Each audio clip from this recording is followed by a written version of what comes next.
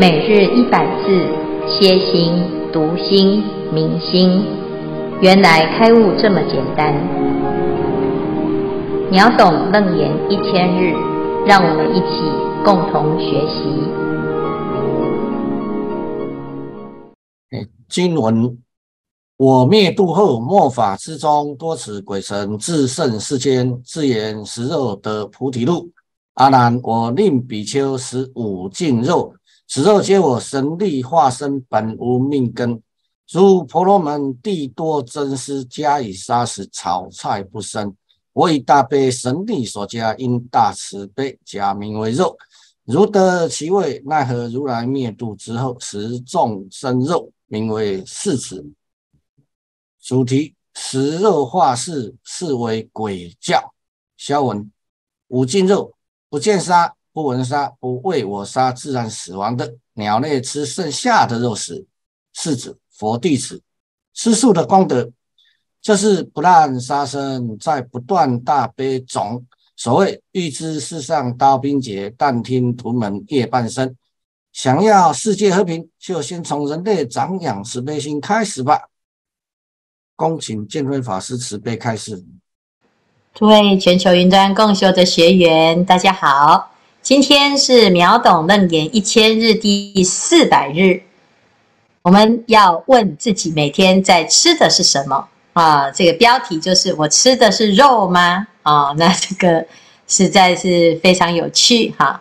是到底在吃的是什么？哈，佛陀他在这个阶段呢，要回答阿难一个问题啊，因为阿难问了他一个比较。难解的问题，就是在佛陀在的时候，佛陀说什么，大家就依教奉行；有问题呢，就直接找到佛，佛就带着我们修行。但是呢，佛陀入涅盘了之后呢，啊，离佛越来越远的弟子啊，在这个时代要修行，就每一个啊都说他是善知识，可是事实上呢，有很多是假的。我们怎么分辨呢？我们怎么能够保护自己呢？所以阿难呢问了佛陀这个难题呀，在末世之中呢，如何修行才能够保护自己，不要让自己走错路、跟错人啊？所以佛陀呢他就讲啊，他说这个你只要把握这三件事，就是最安全，叫做修行三决定义，三件事情一定会。决定成功，第一个叫做戒，第二叫做定，第三叫做慧。这三件事情做到，就是三无漏学啊，就不会有漏失，也不会漏气哈，也不会呢有这些问题哈。那这三件事情呢，哎，这个哪一个最重要呢？啊，就是第一个叫做戒。什么叫做摄心啊？那什么叫做戒？这里面呢有四种原则啊，这四种原则啊，在第二个原则叫做戒杀，戒什么的杀呢？为什么要戒杀？就是要戒你的杀心啊。最主要呢，不要杀害一切众生，伤害一切的这个啊这个对象哈，不管是谁哈，在这个地方佛陀讲的。很细哈，它不只是讲不要杀人，它也包括不要杀动物，然后呢，甚至于连草木都不伤害，其实就是完全的慈悲哈，让自己的心呢能够远离这个杀业，你的心啊是第一个得到大利益的哈，因为呢慈悲呀可以让自己的身心都很舒畅，只要你的心不起杀意。则不随其生死相续。好，那我们在这里面呢，就知道，哎，佛陀他告诉我们一个非常好、直截了当的方法。哈，那刚开始呢，一般人啊都不能理解为什么佛陀要戒杀啊。佛陀说啊，如果你的杀心不除啊，纵使你的智慧还有禅定都修得很好啊，如不断杀，没有这个。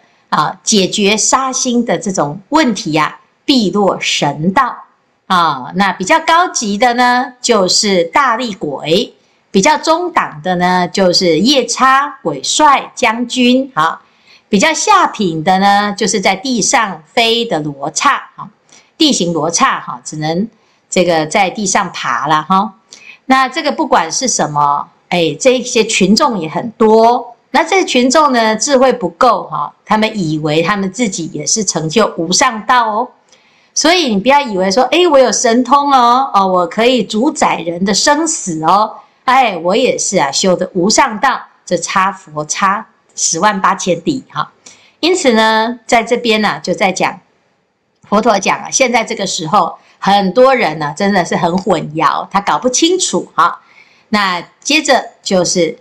要告诉我们，你要怎么远离这些杀的因缘呐？啊，杀因就是你的心啊，你要让自己的心可以一直不断的保持，不要起杀的念头。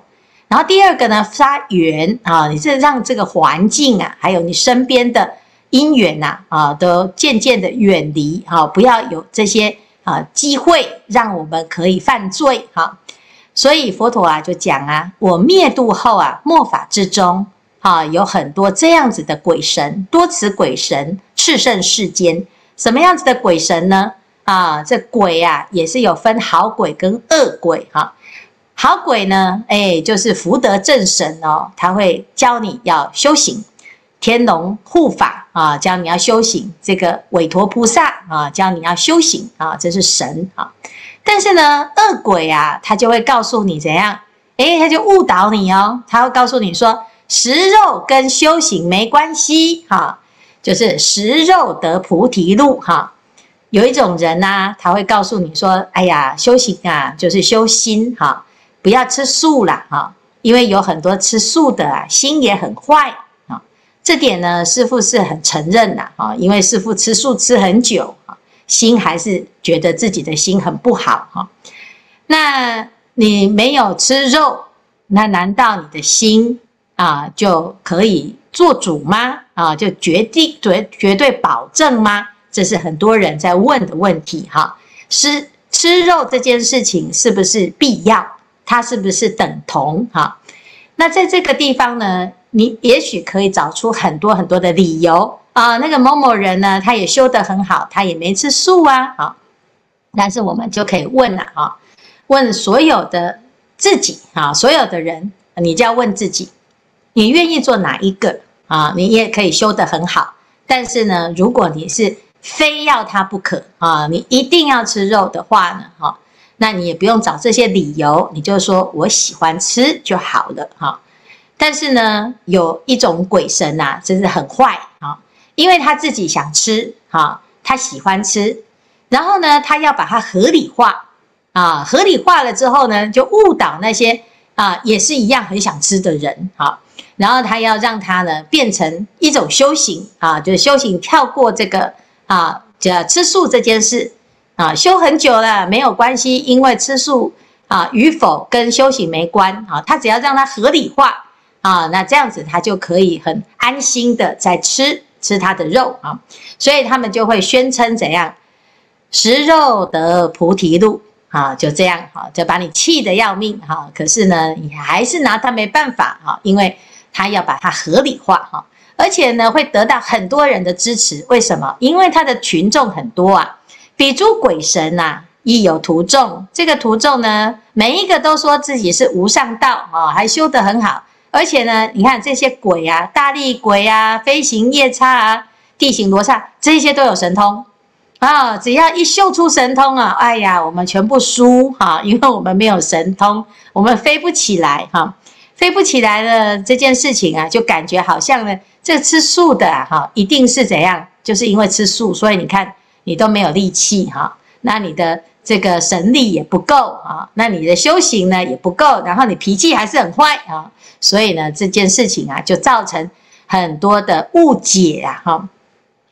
那吃肉这件事情呢，是佛陀说，哎，如果有这样子的问题，这个人啊，一定是鬼神之类的啦，啊，这佛陀讲的，叫我们要分清楚哈，这不是佛说的哦，哈，因为佛陀最后有声明说，此非我的言论哈，这是这个鬼神的言论，那他会怎样呢？哎，他会说佛说的啊，譬如说有人就会讲啊，你看佛陀在的时候啊，也是会让比丘吃五净肉啊，这里就有一个五净肉啊，这在戒律里面呢有这个词的啊。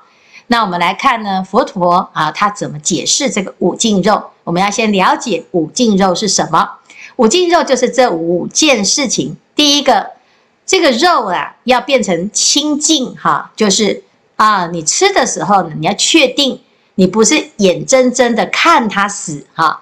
哎，这个老板呐，啊，你这一只活鱼啊，就我要这一只哈，你在现现宰给我看哈。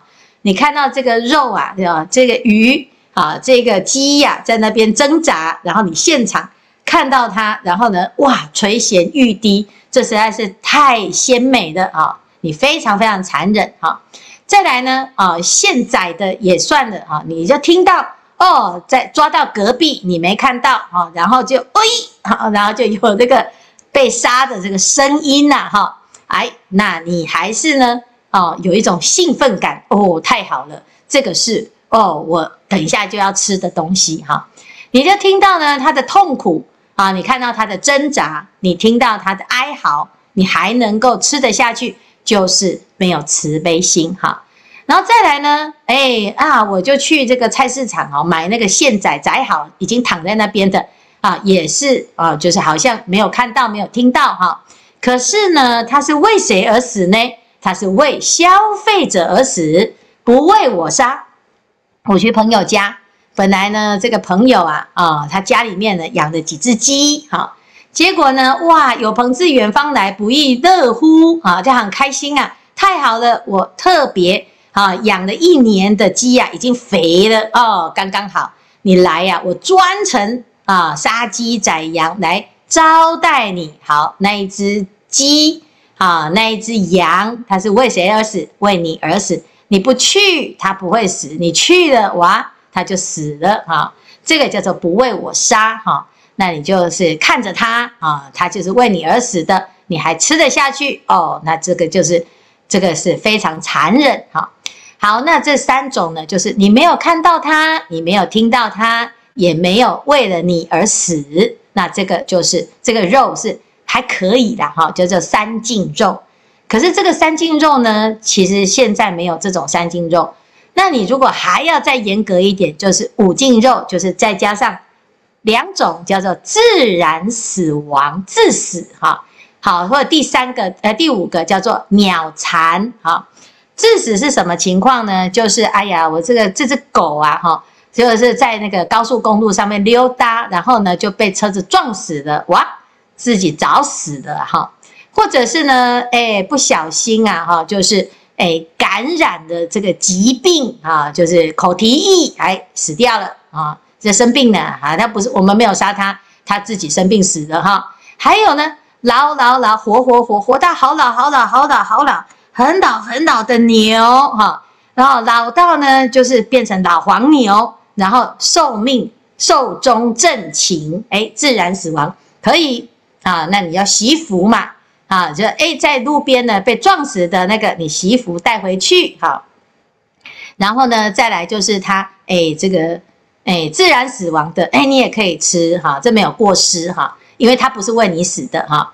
然后呢，哎，他那个染病死的，嗯，你也可以吃哈，这个非常啊，这个媳妇哈，这样子的状态你没有过失，因为你没有跟他结恶缘啊，他他的死亡不是因为你啊，他有他自己的原因啊。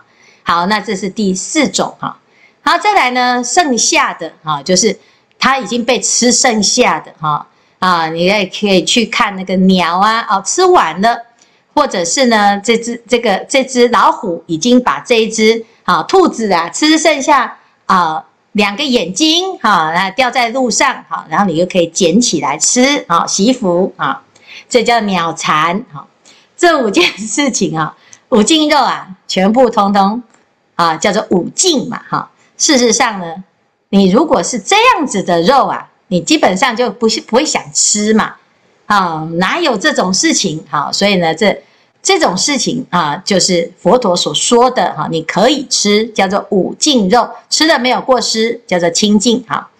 但是呢，其实真正严格来说啊，哈，没有这个五净肉啊，因为啊，这五净肉啊，这叫做肉哈，其实是假的。这个肉是因为当地啊婆罗门的这个地方哈，就是印度那个地方，地多争湿，加以沙石，草菜不生。所以呢，佛陀说，如果连草啊、菜啊都没有的地方，他就变现这些假的肉啊，在这个好比丘能够看得到、捡得到的地方，这是假的，因为他们没有命根。现在呢，我们这个科技很发达哈，也会做出很多植物肉啊。那这个植物肉就是不是肉，它是植物啊，它可能是蛋白质啊，哈，是豆类呀，哈，或者是香菇头啦。啊，它把它做的很有那个味道，哈，好像鱼呀，好像肉啊，哈。那有的人呢，就说，哎呀，你看你有一个形状，还捏出那个鸡的形状，还捏出腿的形状，哈。那但是至少你的意念当中知道它是假的，你知道它没有命根，哈。那这个就是清净的，就是它不是一个灵魂，哈，死在里面，哈，没有，啊，就是没有命根这件事情呢，啊，就是这是非常重要的，哈。我以大悲神力所加，因大慈悲假名为肉了啊！那你吃起来好像是肉哦，哈，汝得其味，哈，汝得其味就是要骗你的舌根呐，哈。但是真正呢，吃素的人其实不喜欢吃这种假肉啦，是因为他在这个印度这个地方完全没有任何的食物啊，连草跟菜都没有啊。你看我们这台台湾真的很幸福。啊，每天都很多菜哈。前一阵子呢，我们去日本哈，当然这日本呢，就是没有办法吃素啊。它虽然是这样，现在还是可以找得到素食，但是它那个地方呢，哎，就有很多的哎，这个不方便，因为青菜也没有那么方便哈。那甚至于有很多这个地球上有很多地方，譬如说北极哈，那你这到北极去啊，你就真的。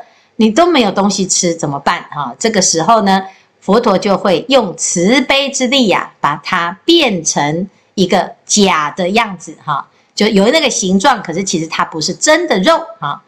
奈何如来灭度之后啊，食众生肉，名为世子。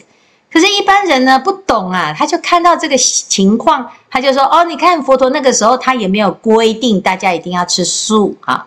哎，好像有的人会这样讲啊。他说这个吃素是梁武帝特别提倡的啊，佛陀并没有规定出出家人都要吃素，是这样吗？不是，在楞严经里面就明文规定要吃素，还有楞伽经也是明文规定要吃素。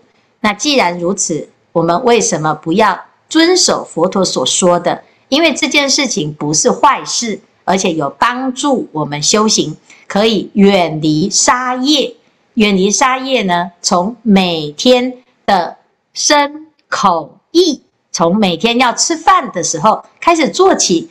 你只要呢少吃一餐的肉，你就放生啊。因为现在的方便哦，大家通常呢如果有吃肉的习惯啊，一餐里面呢啊就是要配菜嘛，啊，所以呢。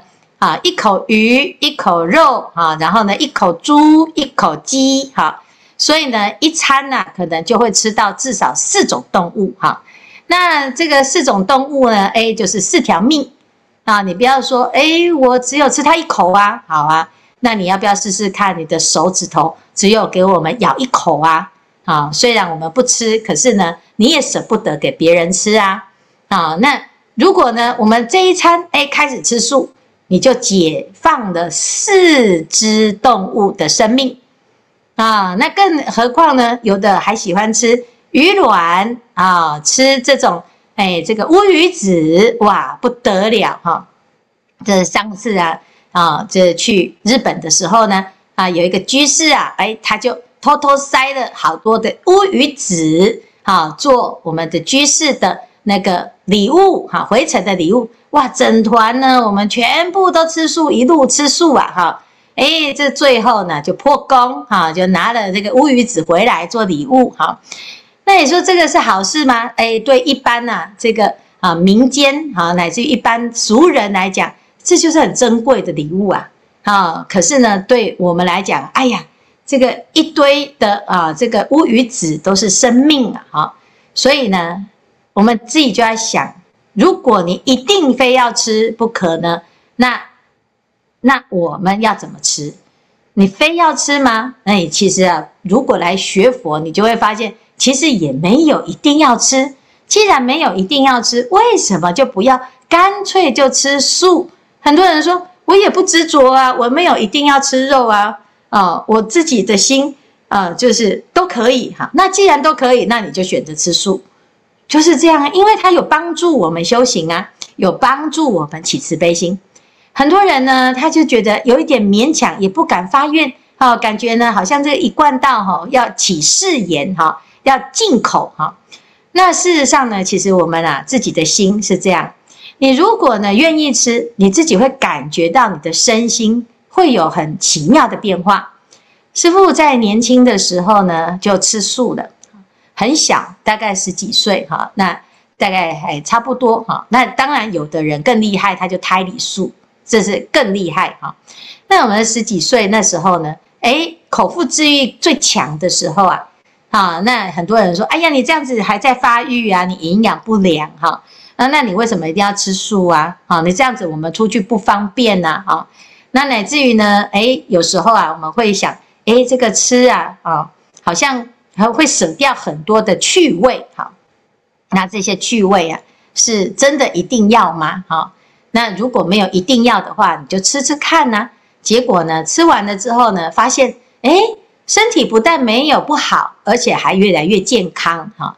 然后再来呢，哎，你的感官变得很灵敏啊，甚至于呢，最明显的就是那个狗狗啊，看到你都不会有起烦恼心啊，也不会害怕啊，因为呢啊，在你的眼中啊，在它的在在你的眼中，它不是食物，它是狗狗哈。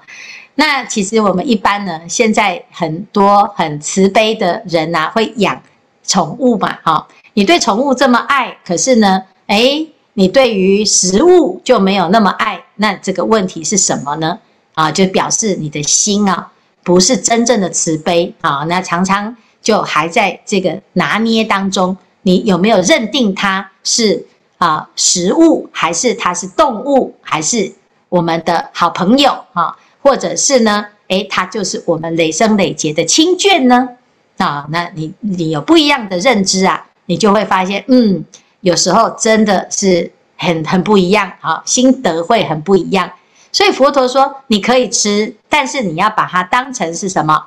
诶，就像在吃自己的孩子一样来吃。那你吃这个肉就没有过失，因为最重要的不是那个味道好不好。是你用什么心情来吃啊？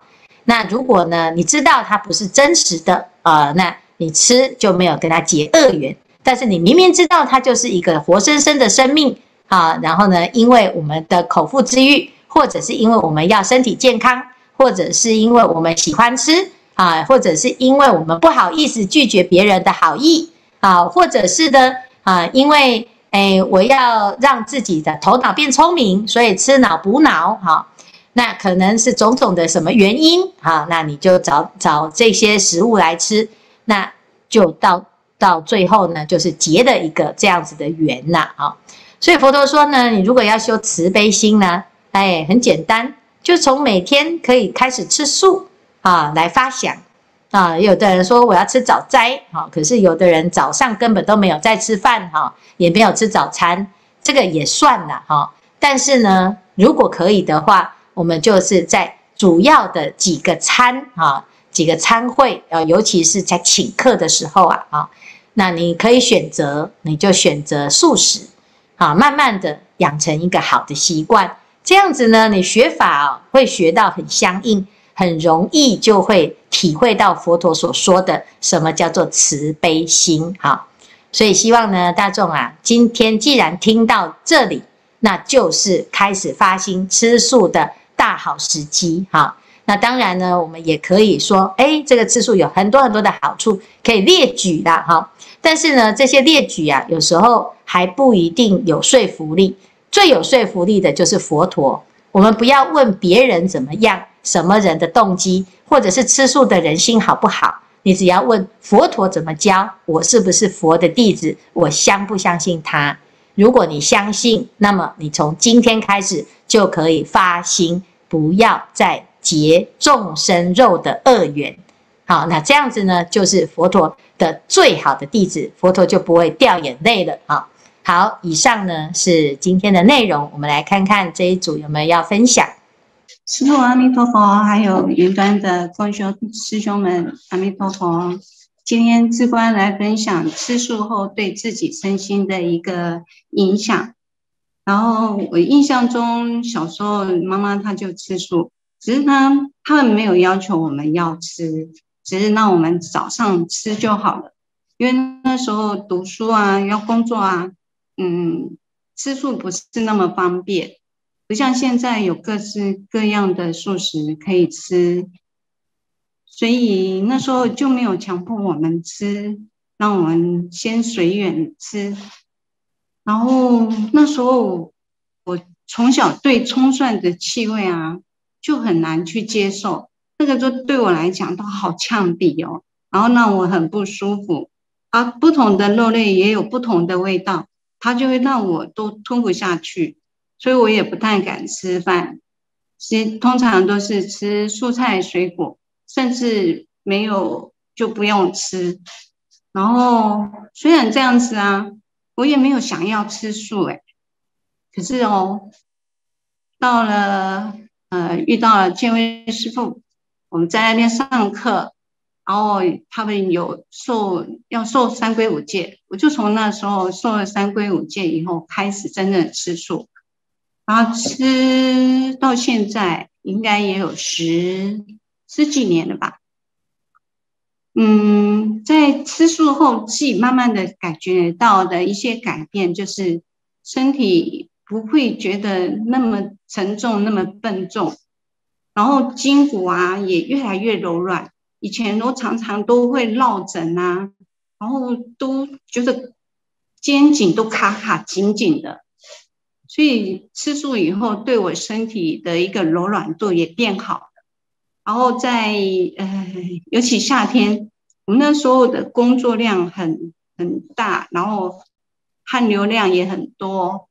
所以常常那时候没吃素的时候，那个汗臭都很酸臭的。然后就嗯，开始开始吃素以后，我的那种汗臭味竟然就慢慢的变淡了，就也让我感觉我身边吃肉很多的人，他们他们会让我闻到很难形容的一种杂味，然后在混合他们的体味的时候。就一直散发出让我无法接受那种气味哦。他们即使喷香水也没有办法去掩盖过去那种气味。那我甚至每次到那些身边的人，那种肉食吃多的人，他们身边我都会都会用憋气的比较多。然后，然后那个呃，我就会觉得。吃吃素以后，然后让那些气味我没有办法接受，让我产生一些呃分别跟执着的时候，起烦恼心的时候，我就会以《金刚经》那句呃“不住色声香味触法”来提醒自己，然后我就觉得也对我修行也有帮助耶。在就是连连同嗯，我第一次见面的人，不认识的人，我们也会很快产生很好的连接跟互动。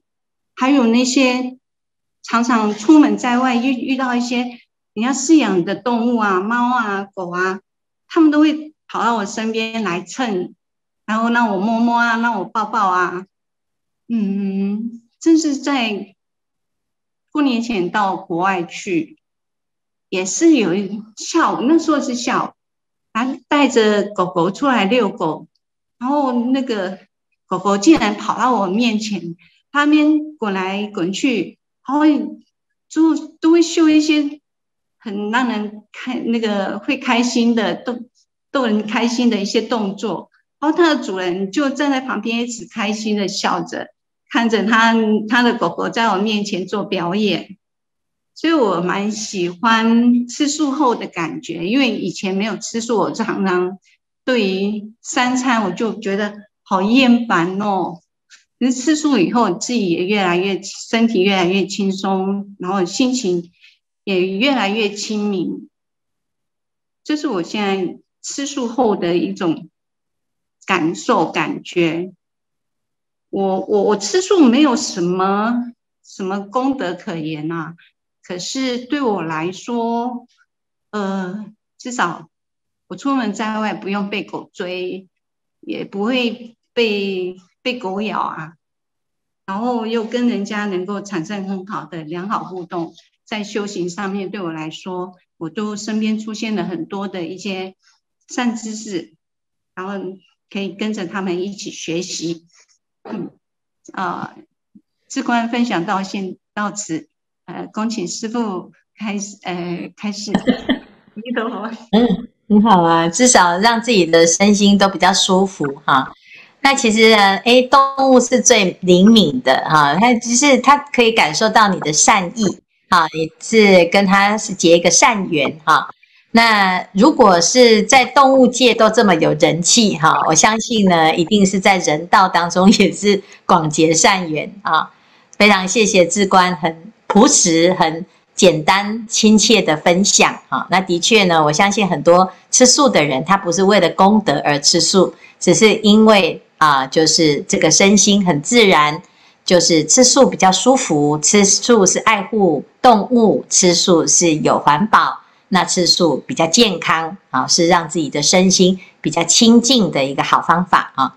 那这样子呢，吃素就不会有负担了哈。那这的确是非常好的一个修行方式，你有加分，没有减分啊。好，谢谢。阿弥陀佛，师傅好，我是法格。那这段经文让我有一点压抑哈，因为佛陀说他死掉以后有假借他所做过或说过的话，然后来作怪。那我就想到以前有一个教授都说他接受记者访问，结果断章取义、乱乱七八糟的来说明这件事情，他觉得很生气。